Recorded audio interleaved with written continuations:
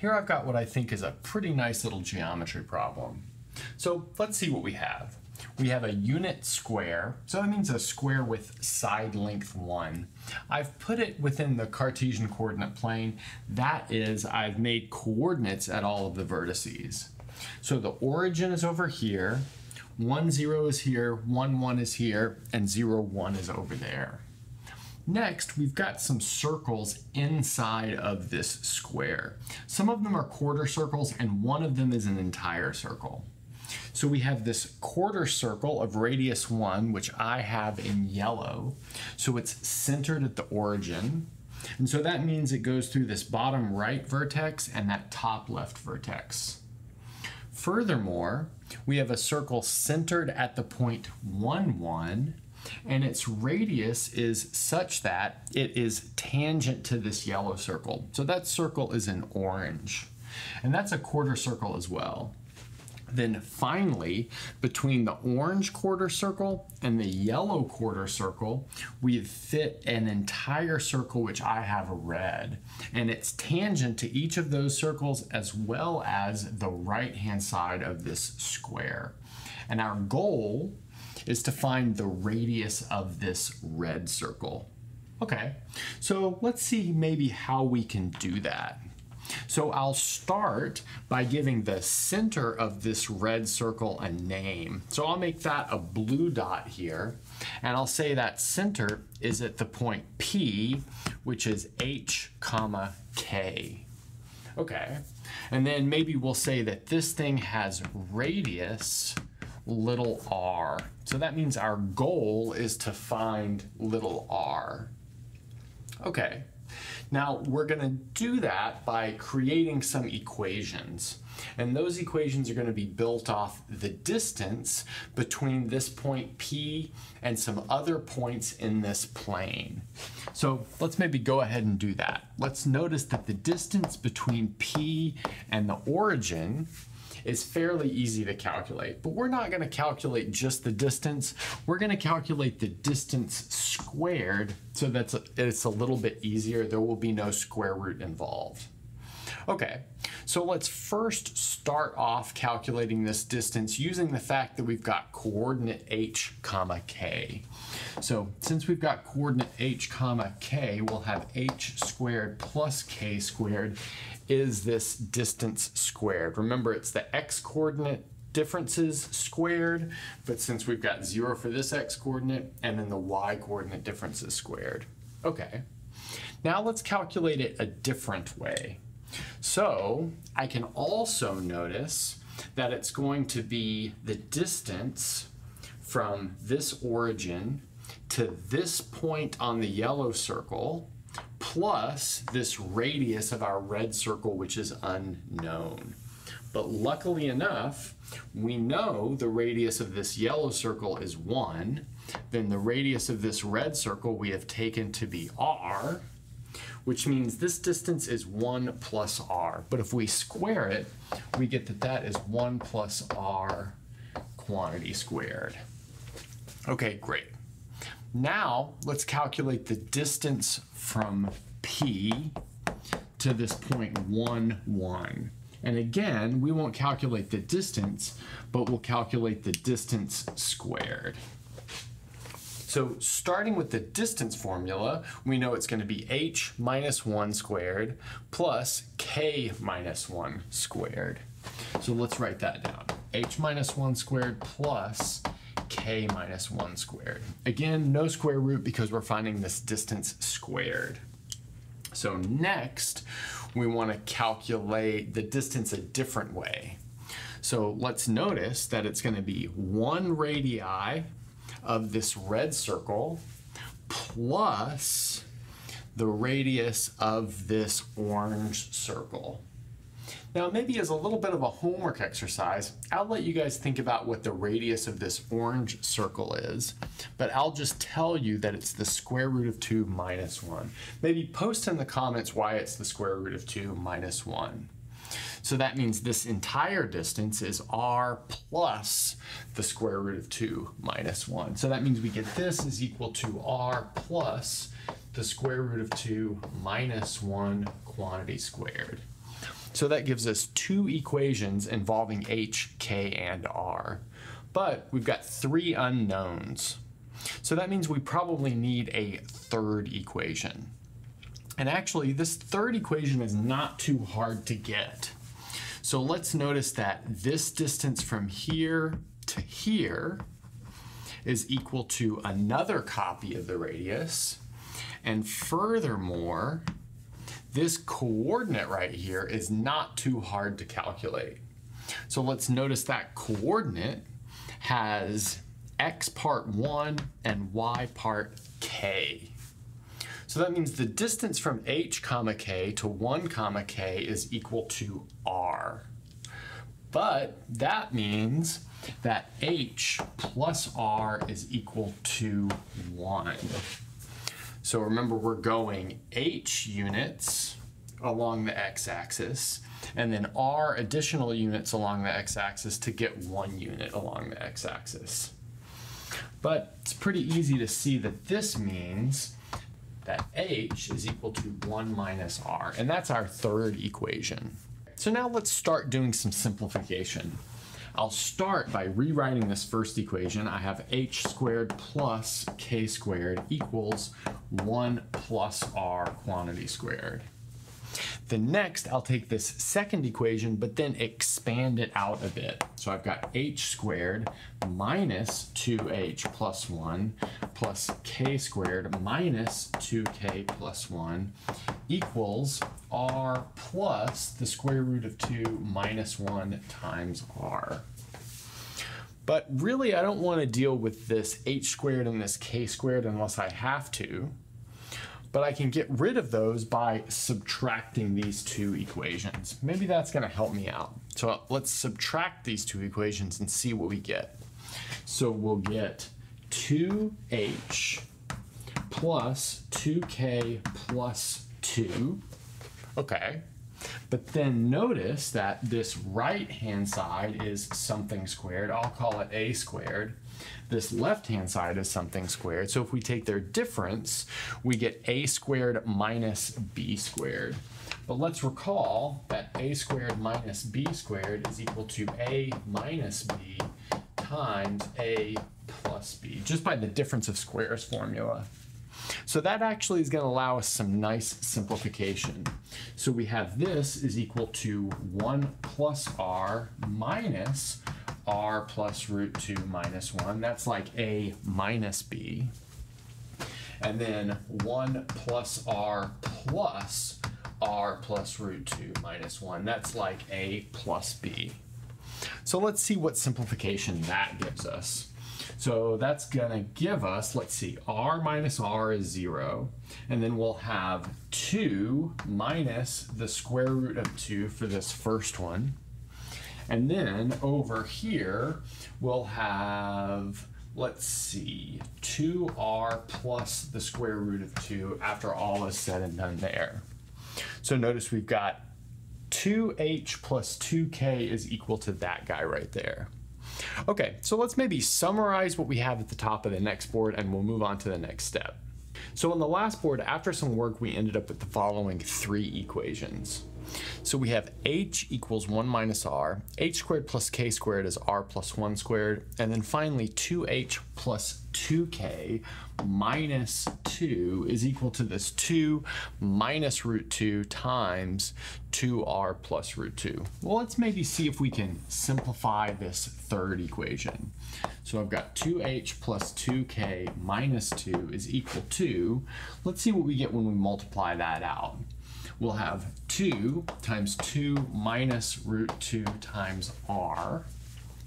So that's what we get from r times this stuff. And then we'll have plus 2 root 2 minus 2. Okay, but now some simplification can be done. So notice that this minus 2 here can cancel this minus 2 here. And then everything left has a factor of 2. So we can divide everything by 2, and that's going to leave us with h plus k is equal to 2 minus root 2 times r plus the square root of 2. Next, we'll plug in this value for h. That is, we'll replace h with 1 minus r. And that's going to give us k in terms of r. So let's see what we've got. We have 1 minus r plus k equals 2 minus root 2 times r plus the square root of 2 like that. Okay, so now moving everything except for the k over, we have k is equal to, well that's going to be 3 minus the square root of 2 times r for moving this r over and then plus the square root of 2 minus 1. So that's re the relationship between k and r. And then next, we can take this value for k, this value for h, and plug it into this quadratic equation, giving us a quadratic equation for r. So that's going to be 1 minus r quantity squared plus, well, we need k squared, but that's a bit of a handful. We've got 3 minus root 2 times r plus the square root of 2 minus 1 quantity squared equals r plus 1 quantity squared, like that. Now we've got our quadratic equation for r, and we can finally start to finish it off.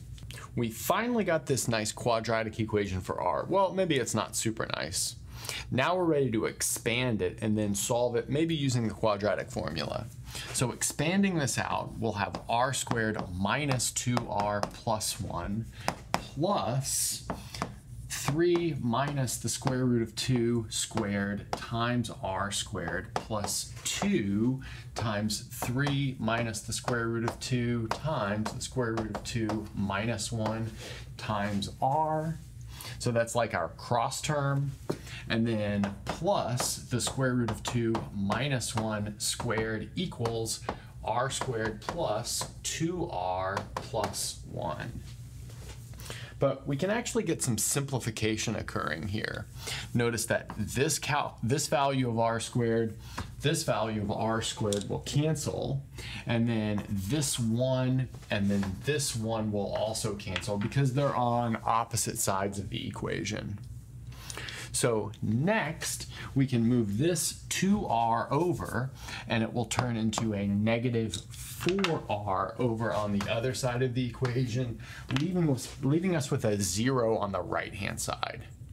Okay, so let's see if we can do some simplification here.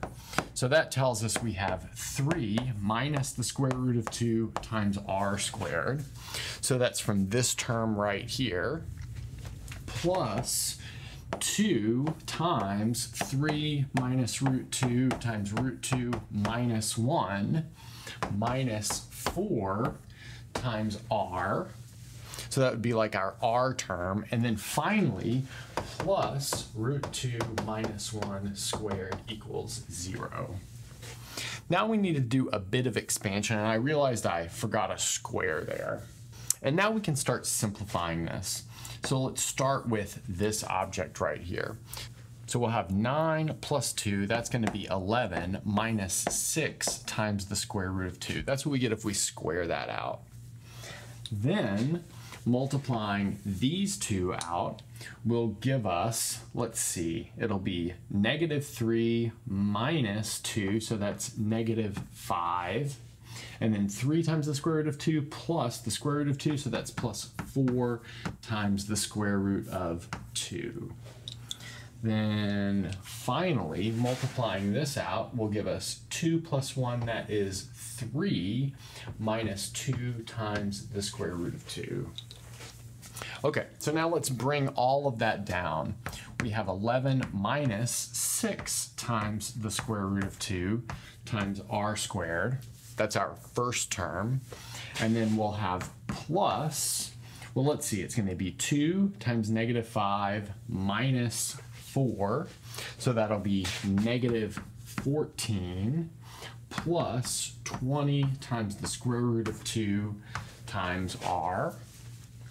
And then finally plus 3 minus 2 times the square root of 2 equals 0. So now let's start solving this with the quadratic formula. So we'll have r is equal to 14 minus 20 times the square root of 2 plus minus the square root of, well, it's gonna be b squared. So that'll give us 14 minus 20 root 2 quantity squared. I changed the sign there, but it doesn't really matter because we're squaring it and then minus 4 times a times c. So that's going to be minus 4 times 11 minus 6 times the square root of 2, 3 minus 2 times the square root of 2. That's all under the radical. And then we need to divide that by 2 times a. So that'll be 22 minus 12 times the square root of 2. Okay, now let's bring that up to the top and then we'll finally finish it off. So on the last board, we ended up with this monstrosity. Now let's start simplifying it. Well, I first want to notice that here we've got a multiple of 4 and here we have a multiple of 4. So we can bring those outside of the square root. That'll leave me with a 2 outside of the square root. This one's just going to scrub away and then this 14 will turn into 7, and then this 20 will turn into 10. So we just divide them by 2 because they're being squared right there. And then after that, we can factor a 2 out of the entire numerator and cancel it with the denominator. So that's going to get rid of that. That'll change that into a 10. That'll change that into a 7. And then here we'll have an 11 and a 6. So let's write that down to see what we have now. We have 7 minus 10 times the square root of 2 plus minus the square root of 7 minus 10 times the square root of 2 squared minus now this product here, which we'll calculate in just a second, but now in the denominator, we'll have 11 minus 6 times the square root of 2. Now let's multiply this out to see what we have. We'll have 3 times 11, that's 33. And then 33 is going to be added to 6 times 2 times the square root of 2 squared. 24 plus 33 is 57. So that's what we get for everything not attached to a square root of 2. So we'll have 11 times 2, that's 22 times the square root of 2, plus 18 times the square root of 2. So that's going to be minus 40 times the square root of 2. So that's what we get here. Okay, now we probably want to multiply this guy right here out. So let's see what we get when we do that. We'll have 49 plus 100 times 2. So 100 times 2 is 200, so that's going to be 249 and then that'll be minus 140 times the square root of 2. Okay, so now let's bring that down to see what we have. We have 7 minus 10 times the square root of 2 plus minus 249 minus 57, that's 192. And then we'll have negative 140 minus negative 40, so that's going to be plus 100 times the square root of 2. That's all over 11 minus 6 times the square root of 2. And that's actually where we're going to leave it. As a homework exercise, I'll let you guys decide if we need the positive or negative root, and then we have the solution. I will say that there's a little bit more that you can do if you want a prettier answer. And that is you can denest this square root into something nicer. And in fact, I'll give you the solution if you want to work towards it. So what you end up with is 9 minus 4 times the square root of 2 over 49. That might seem a little bit crazy, but if you notice, when you take this denominator and maybe rationalize it, you'll get 49. That's because 11 minus 6 times the square root of 2 times 11 plus 6 times the square root of 2 is 11 squared minus 36 times 2, which is 72. But 11 squared is 121 minus 72 is equal to 49. So we see that 49 appearing right there. So now you just have to work out how to denest those radicals. There's a bunch of ways to do that, but I think this video has gone on long enough. And that's a good place to stop.